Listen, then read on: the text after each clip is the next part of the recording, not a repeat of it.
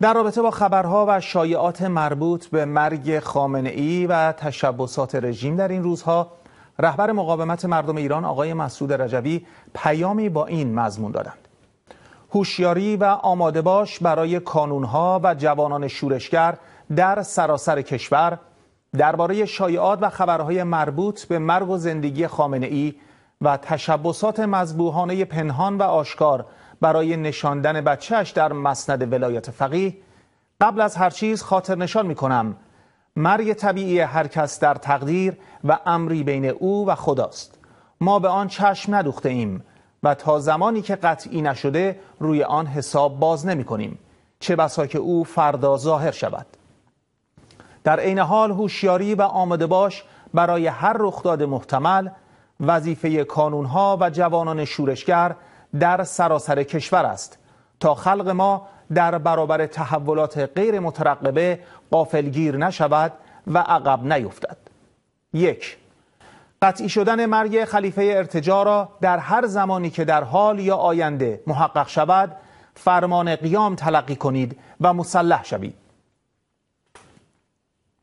دو به خیابانها بریزید و مردم را با شعار مرگ بر اصل ولایت فقیه زنده با جمهوری دموکراتیک برانگیزید.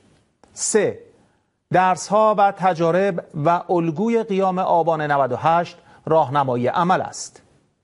چهار خیابانها و مناطق و شهرها باید یکی پس از دیگری آزاد و به شوراهای محلی تحویل شوند.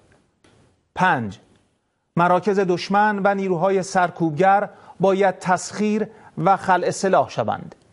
شش سپاه پاسداران و اطلاعات ولایت فقیه باید تا تسلیم و انحلال در هم کوبیده شود. هفت پرسنل مردمی ارتش باید با تسلیحات و تجهیزات خود به جبهه خلق بپیوندند.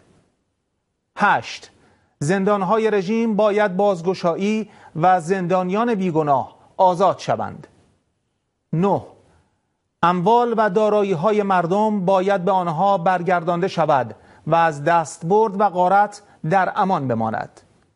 ده دانشجویان، کارگران، نفتگران و کشاورزان آگاه، کسبه جوان، پرستاران و معلمان از زن و مرد تا اطلاع ثانوی و استقرار دولت موقت سربازان و افسران وطن در ارتش آزادی بخش ملی و حافظان جان و سلامت و ایمنی و حل و فصل امور و مشکلات مردم هستند.